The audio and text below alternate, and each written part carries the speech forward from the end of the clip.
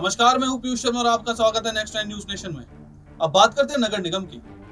दिल्ली नगर निगम एकीकरण के बाद प्रशासन सख्त हो रही है। इस कड़ी में एमसीडी के सिविल लाइन जोन के उपायुक्त प्रिंस ने सख्त आदेश जारी किया है, जिसमें समय पर दफ्तर ना पहुँचने वाले अधिकारियों और कर्मचारियों का वेतन काटा जाएगा। वहीं बिना पूर्व सूचना के अनुपस्थित होने वाले अधिकारियों और कर्मचारियों का निलंबन तक कर दिया जाएगा। इतना ही नहीं, सभी को हाजिरी लगाने के लिए मोबाइल ऐप का ही इस्तेमाल करना होगा। ऑफलाइन हाजिरी को स्वीकार नहीं किया जाएगा। कर्मचारियों को निलंबित कर दिया जाएगा। दिल्ली नगर निगम ने एक आदेश जारी कर कहा है कि कार्यस्थल से तीन दिन तक अनुपस्थित पाए जाने वाले नगर निकाय के कर्मचारियों को निलंबित कर दिया जाएगा। सिविल लाइन जोन के उपायुक्त कार्यालय द्वारा यह आदेश 26 मई को जारी किया गया था, जिसमें यह भी कहा गया है कि पूर्व अनुमति के बगैर अनुपस्थित पाए जाने वाले कर्मचारियों को एक दिन का वेतन भी काट लिया जाएगा। आदेश में कहा गया है कि बगैर किसी देरी के जन सेवाएँ समय पर ना पहुंचाना सुनिश्चित करने के लिए यह निर्देश जारी किया जाता है कि सभी अधिकारी सुबह नौ बजे तक कार्यालय में उपस्थित हो जाएँ।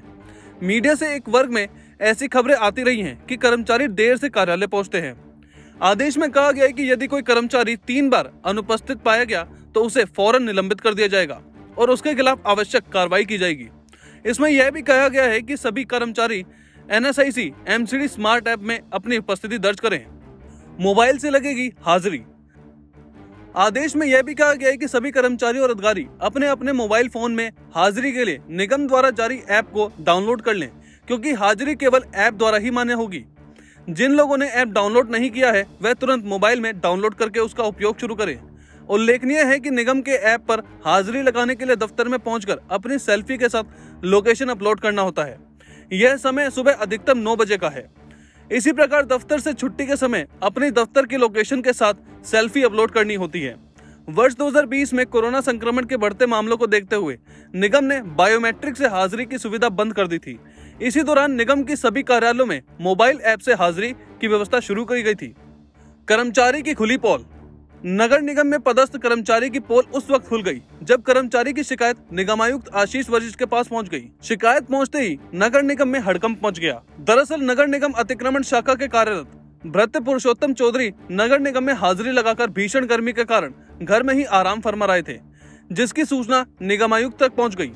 कर्मचारी सप्ताह में दो दिन नगर निगम आता था, साथ ही हाजिरी लगाकर तीन दिन घर में ही आराम करता था, जिसकी पुष्टि सहायक अतिक्रमण निरोधक अधिकारी सागर बोस्कर ने द्वारा की गई है। पुष्टिकरण के बाद निगम आयुक्त ने कार्रवाई कर आठ दिन का वेतन तत्काल काटने का निर्देश दिए।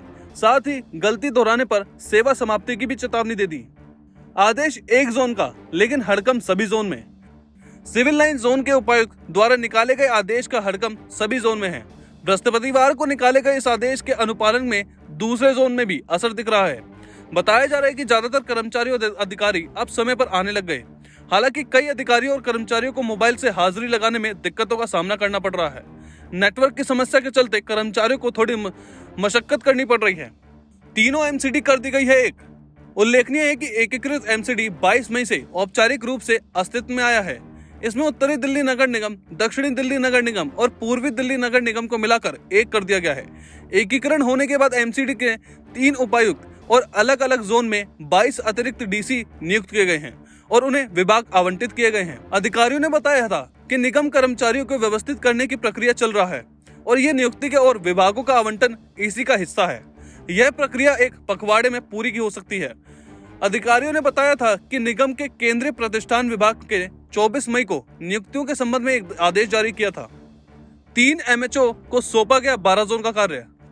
दिल्ली नगर निगम के जन स्वास्थ्य विभाग में चिकित्सा स्वास्थ्य अधिकारी स्तर के तीन अधिकारियों को बारह जोन का कार्यभार सौंपा गया है। प्रशासनिक अधिकारी थानेश्वर कुमार की तरफ़ से इस संबंध में कार्यालय आदेश जारी किए गए। एमएचओ डॉक्टर ललन राम वर्मा और एमएचओ वन का कार्यभार सौंपा गया है। उनके अधीन मध्य दक्षिण पश्चिमी तथा नजफगढ़ जोन का दायित्व होगा। डॉक्टर सत्य प्रकाश अहिर को एमएचओ द्वित नियुक्त किया गया है। उन्हें city Sadar Paharganj Keshavpuram, Karol Bagh, civil lines Rohini और नरेला जोन का जिम्मा सौंपा गया। डॉक्टर सोमेश्वर को एमएचओ तृतीय नियुक्त किया गया। उनके पास शादरा दक्षिण और शादरा उत्तरी जोन का दायित्व होगा। फ़िलहाल नगर निगम में इतना ही। आप देखते रहिए नेक्स्ट टाइम न्यूज़ स्टेशन